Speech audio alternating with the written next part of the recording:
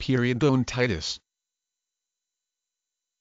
Periodontitis, gum disease The word periodontitis literally means inflammation around the tooth. Periodontitis and all periodontal diseases are bacterial infections that destroy the attachment fibers and supporting bone that hold the teeth in the mouth. Left untreated, these diseases can lead to tooth loss. The main cause of periodontal disease is a bacterial plaque, a sticky, colorless film that constantly forms on teeth. Periodontics is the branch of dentistry concerned with the prevention, diagnosis and treatment of diseases affecting the gums and supporting structures of the teeth. Periodontists are also expert in the placement and maintenance of dental implants. Periodontics is one of the eight dental specialties recognized by the American Dental Association.